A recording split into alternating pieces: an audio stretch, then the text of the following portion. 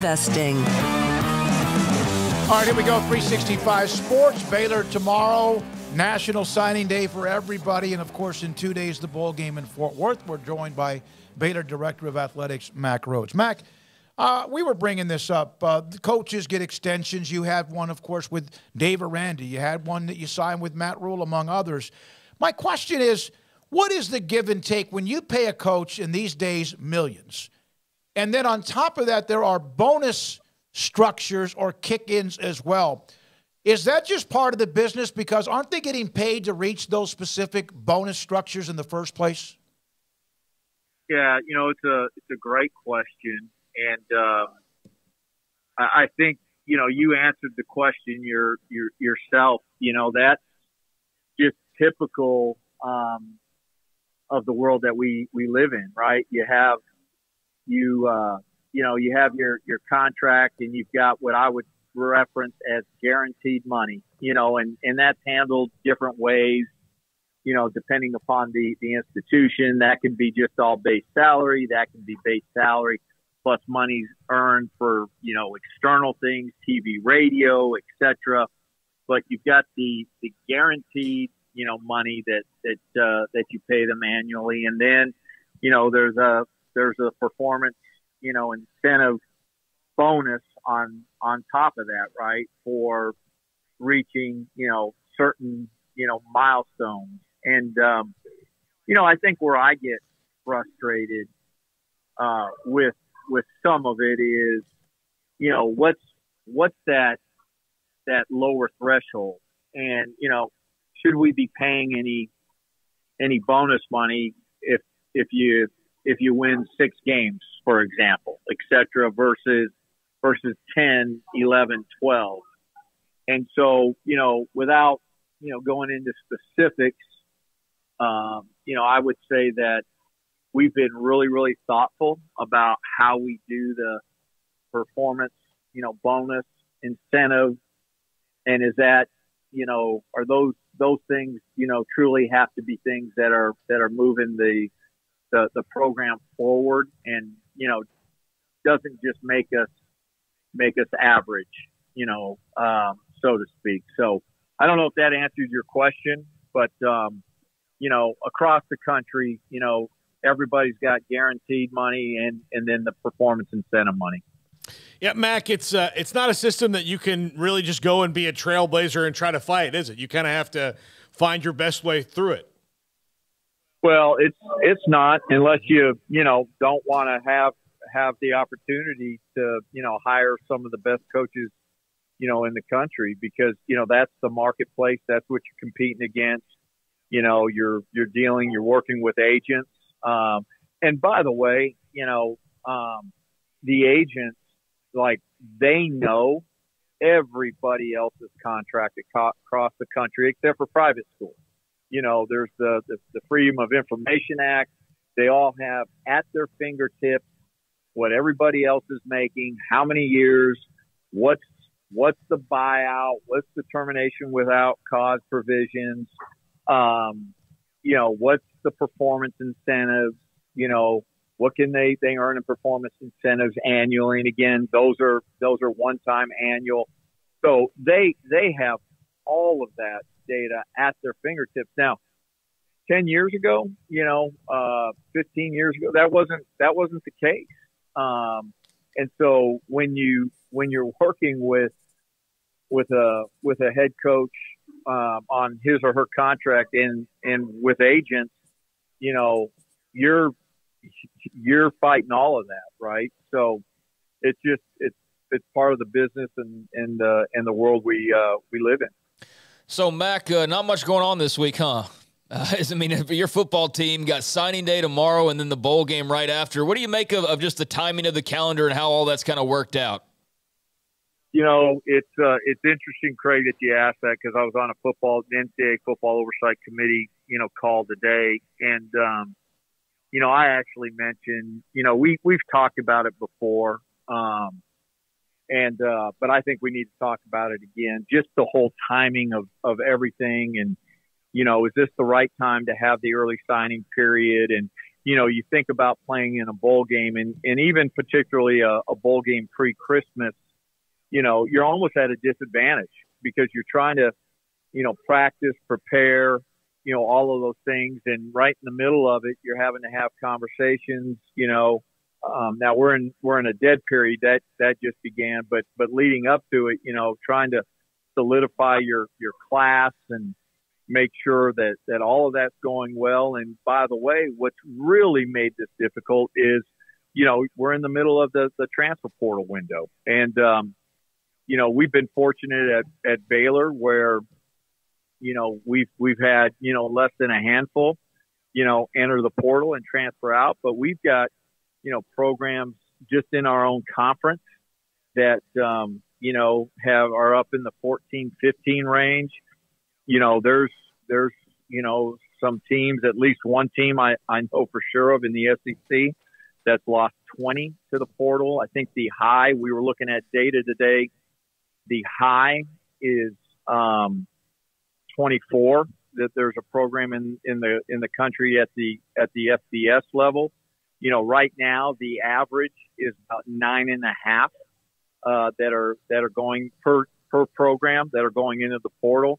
Last year it was in the sevens, so it's it's gone up, and so this is a, a huge reality. And man, we're asking our coaches, you know, to to navigate a ton of it, and then not to mention, you know, what happens if you have staff changes, and so we've got a head coach that's trying to manage all of that right and and be the defensive coordinator at the same time. So it's a lot, and I just think we've got to rethink all of this.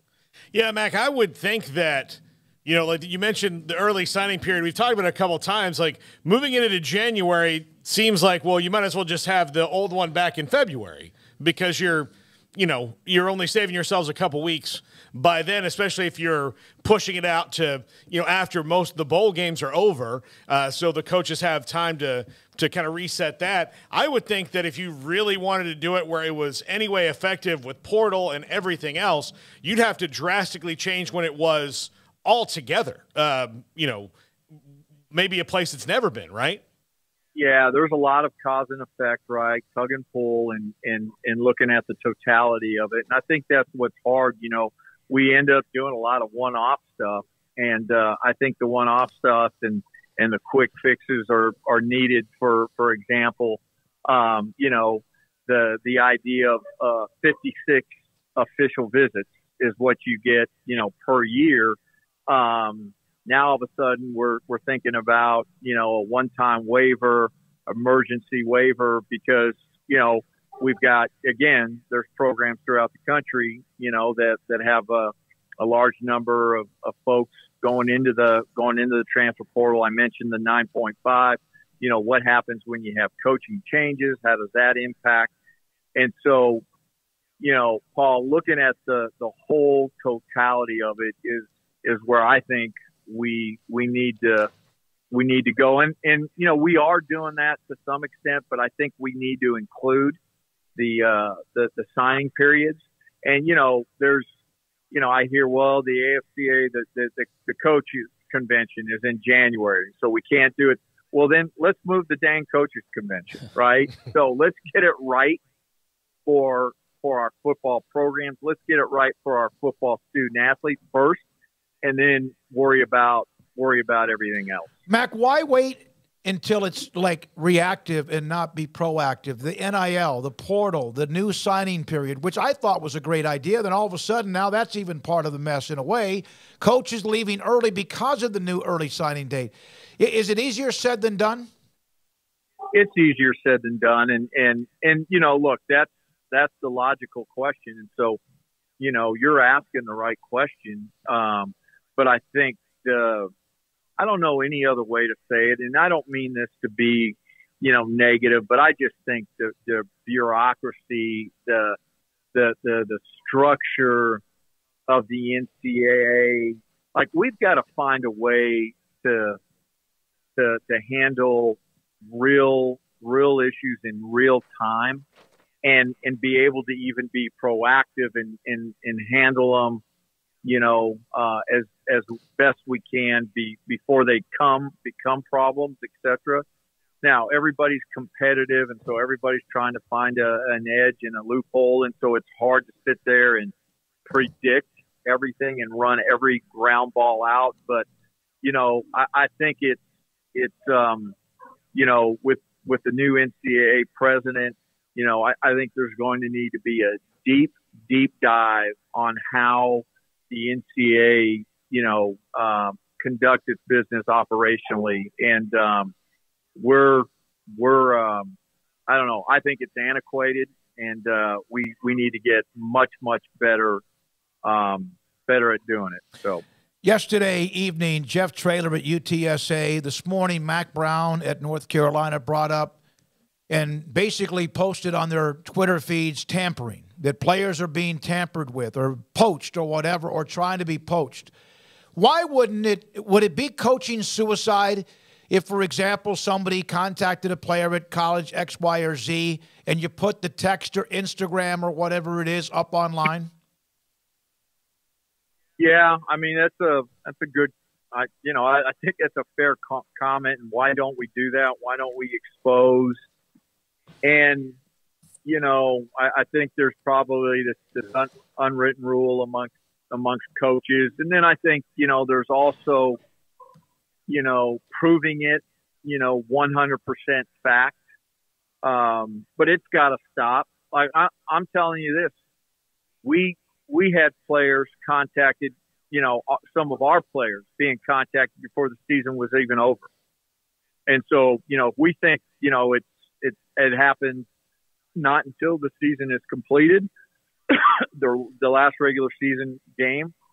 And, you know, I, I I'm going to say it. I, I think it's, I think, you know, um, a school or two within our league has. And so it absolutely has has to stop. And I will I will tell you this, and I can say this, you know, proudly, but you know, you start to begin to think, are we just at a great great disadvantage because we we are committed to doing it the right way?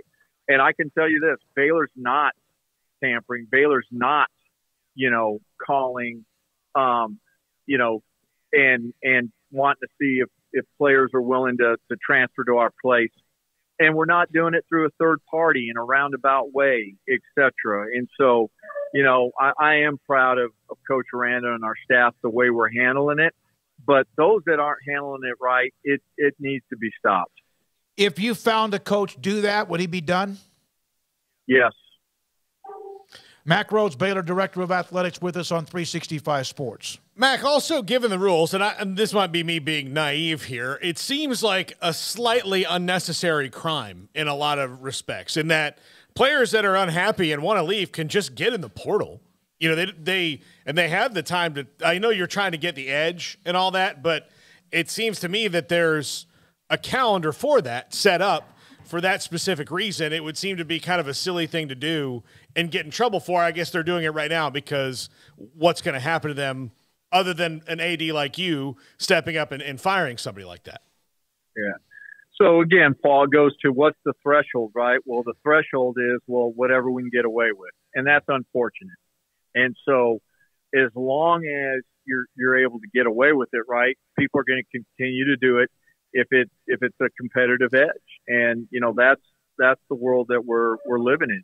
And um, you know, when we talk about continuing to be nationally relevant, you know, meaning Baylor, and uh, you know, that's those are the conversations we we were having. It's it's certainly you know name, image, and likeness, and and all of that, but it's you know doing things the right way, and um, you know, um, what what kind of competitive disadvantage are you when you when you when you you know do it the right way and um and again that's where you know it comes back to um we're gonna work our tails off we're we're gonna have to work harder um smarter when we think about doing it the right way and and then you know I certainly believe that that God's going to honor that and and I think if to this point in time you know, it uh, it's it's worked for us, and you know, I I know it's it's frustrating for for our coaches, and it's certainly frustrating for me. But um, we're gonna we're gonna commit to, to doing it the right way and, and continue to do it that way. Mack, after the football won the Big 12 title in Sugar Bowl, do you feel like in a year's time, because you're about to be National Signing Day a year later, and that was right after the Big 12 title, do you feel like the football program got all the juice it could out of what they did a year ago? Um, yeah, that's a that's a really fair question, and you know, I'm I'm not sure, Smoak, if if you're headed in the in the direction of of you know, where the where the class will end up being ranked, um, you know, in terms of the recruiting class, etc. You know, I, I think if we, we hold on to the class, this is going to be one of the, the better classes that that's ever been signed in, in, you know, in Baylor history. But, you know, it, it goes way deeper than that. Um, and particularly in the, in the world that we're living in, you know, um, so, so answering your question, I would say yes. Um, particularly when we think about are we are we getting the you know the young men that that we want, um, not just not just you know the, the the stars beside their names, but do they absolutely love playing football? Because that's such a big part of it nowadays with all of the distractions um, you know, are we are we getting them in that just they they just have this deep love and passion? You know, do they do they fit? You know, in terms of our our culture and our and our Christian values and and and all of that. And so I would just say that you know um, the Sugar Bowl and that success has has probably you know opened the door where we maybe have more of those type of, of young men to, to choose from and um, and so we've we've been you know we're going to continue to be selective and, and, and careful. So so yeah, you know, I, I to, to answer your question, I, I think I really do think we we have when you think about facilities and being able to move forward with like the football operations building and and some of those other things. Um, absolutely yes. So uh, I, I know that there's the story, and in fact, we discussed it with you before, but the, the possibility that Texas and Oklahoma may depart after 2023 season or 23 24, whenever that is. Um, is that is what's because we thought, and I think you mentioned it, Brett Yormark mentioned it, others have mentioned that the Big 12 football schedule for next year would be out by now, and it wasn't. It, is that what has delayed it because of the unknown of maybe just a one year deal and then they will shred that up and start all over again, or what? Yeah, so I'm not going to be disingenuous. You know, I don't know that it's been publicly confirmed, et cetera. So, you know, um, but there's there's certainly, you know, logically, um, I don't think it's a I don't think it's a stretch to connect those dots, and and I would just I would just leave it at that. All right. Well, that makes sense because you'd have to tear it up, and instead of a, let's say you're at, for example, X, Y, and Z, and then they come to your place the next year, they may not be in the conference to come to your place, or vice versa. So that that would make sense. Um, Mack, we appreciate it. Uh, you have, as everyone else in the athletic department, I know that tomorrow they start to get signatures. The support staff and all that's involved in it. How much of an all-out everybody on board, even with the bowl game in Fort Worth, do you have? Because I remember one year maybe that wasn't the case, and you weren't real thrilled with that. Yeah, I, I think that um, you know our staff has been tremendous, and just all of the time and the effort, and um, you know it, it goes way beyond you know just the, the football staff. What our facilities people do to make sure that that everything is pristine when we're having official visits, and all of the the other staff members, the academics, the character formation, you know, the, the sports ministry, you know, all of those folks that, that are involved in, in official visits. And so it, it is a, a true team effort. And, uh, you know, I'm proud of, of our staff and, and how, you know, everybody's handled it. And, um, you know, I think tomorrow will be a really positive day for our, for our football program. And, you know, it's always exciting, you know, whether it's football or any one of our other 18 sport programs. when you when you add new members uh, to your to your family. And uh, you know, I'm excited for for our staff. I'm excited for for those young men tomorrow and their families um, because it's a it's a big commitment. And uh, the the one thing that um, that I can promise those young those young men that, that sign a, a, a national letter of intent tomorrow is we're gonna we're gonna care for them. We're gonna value them as as people first, and we're gonna challenge them to be great in everything, uh, not just football. One final thing. The schedule that's not being released because of whatever is going on behind the scenes with the possibility of what happens with Texas and OU. You didn't say that, I will. When does it have to be released so you guys, as programs, can start to put together schedules of like games and homecoming and whatever else is involved in that? Um, so it's you know uh, it's a great question, and I just don't see how we can go any any longer than than mid January. That that's that's my personal opinion. That's not you know anybody else's, but yeah, I, I just in fairness to everybody, um, I, I don't see how it can how it can go beyond that. So, in fairness to everybody, ought to be a slogan when the new conference is formed. I like it. Thank I you. Like it. Thank you, Mack. We'll see you in Fort Worth. Hey, uh, just quickly, Merry Christmas to, to you guys and your families, and thank you for everything you do. And then just you know, Merry Christmas to to the all of the Baylor family. Um, just wishing everyone a a blessed Christmas season. Thank you, guys. Thank you, Mack. Thanks, Mack, Mack. Mack Rhoades, Director of Athletics at Baylor. We had a lot of things to chew on with that.